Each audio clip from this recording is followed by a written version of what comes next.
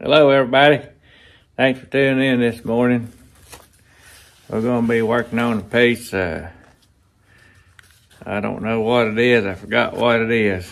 But uh, Dave from Calmwood Creation sent it to me some time back, and he told me what it was, and I can't remember worse than nothing. I done forgot. Now I have to message him and see what it is. It kind of looks like birch. But um, I'd just like it's moss. It's I have to keep that on there if possible, but I don't know. We'll see. I got another piece over here too. We'll try to get worked up at that extent.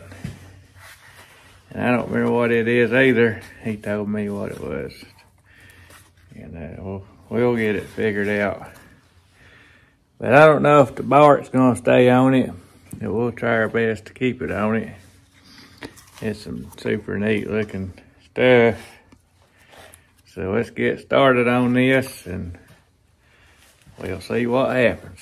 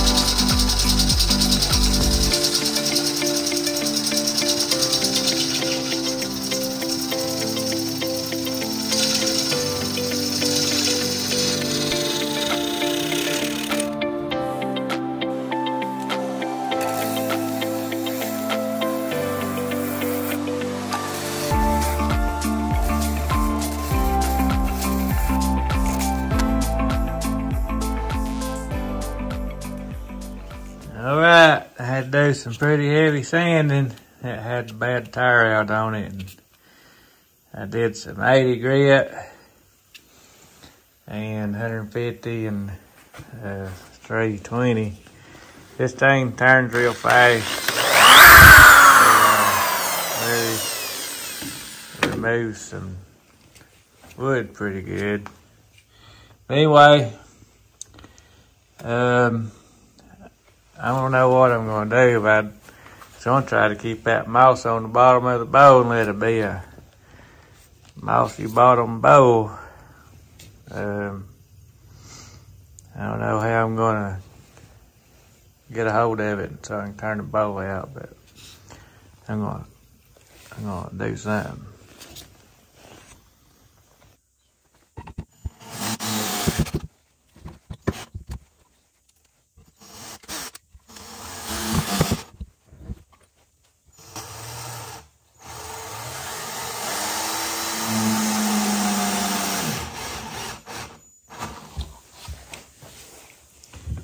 There. I don't know hell that'll do, but we'll find out. But probably won't be able to see where the screw holes went because all the moss in it. But um, it might be a little lopsided when I set it on the lathe. I don't know. I ain't too worried about it. We'll do what we can do with it and hope we don't hit a screw. There's over two inch long screws.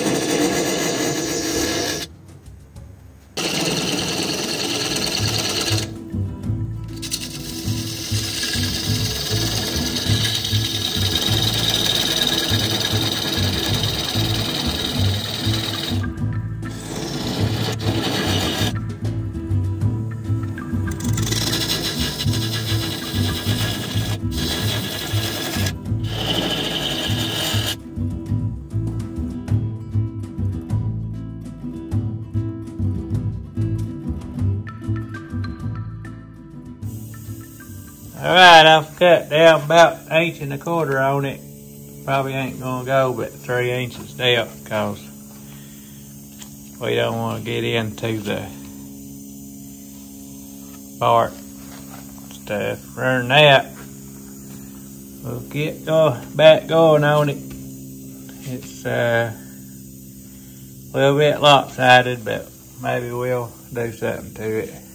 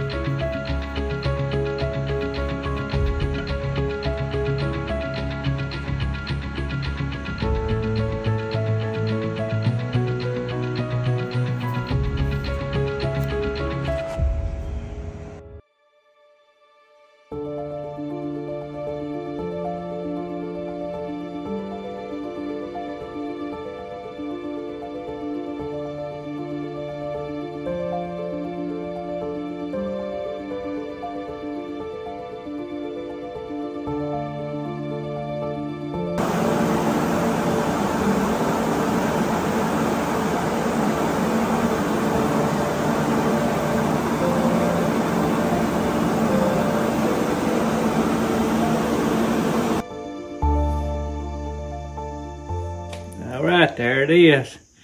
I finally got them finished up. Uh, I think it turned out pretty neat. Even if the inside of it is a little lopsided. It kind of reminded me of a bird nest for some reason. Um, I guess cause it's got moss on the bottom of it. Uh, it's the first time I ever did a bow with moss on it as far as I can remember. But um, I believe it, will stay intact pretty good because it's got a real good bond with the wood there. There is air gap in a place or two, but I don't think there's anything to worry about. I didn't have no place to sign it, so I just kind of had to sign it close to the um, bark bottom or it's connected there, but anyway, this this piece of wood was, I'd messaged Dave and it was a big leaf maple. That's what it was. It's some pretty cool looking wood. It's got some pretty colors in it. I'll get this other one over here. This in here was uh, European birch. Um, it, where I put that, I put CA glue in it to hold this bark on and it had such air gaps in it. And I only had black CA glue, so it looked like I don't know what in there. So I thought I would add some black glaze to it to try to blend it in, make it look kind of rustic. Where Dave cut it with the chainsaw, I didn't, uh, I just sanded that a little bit and left his chainsaw marks in there and let the glaze kind of lay in there. I tried to blend it in and had quite a bit of bug holes in it. And uh, I did is I coated it with some shellac, brush on shellac and sanded it and then sprayed some canned shellac over it. And the ink, I stabilized the ink in with some lacquer because when you put shellac over ink, it dissolves the ink. But if you stabilize it with lacquer, whatever the salinity of lacquer is, it don't have any effect on the ink. So I do that. Then I coat it with shellac. But anyway, I wished I wouldn't have sprayed the bark with the shellac. I tried to keep it off because it kind of made it yellowy. And I liked the, the, it was just a lighter color on the bark. I guess that's about it for today. Um, I hope you enjoyed the video and feel free to leave me a comment. Enjoy hearing from and uh, try to get something else going here for too long. I'll see y'all later. Y'all have a good one.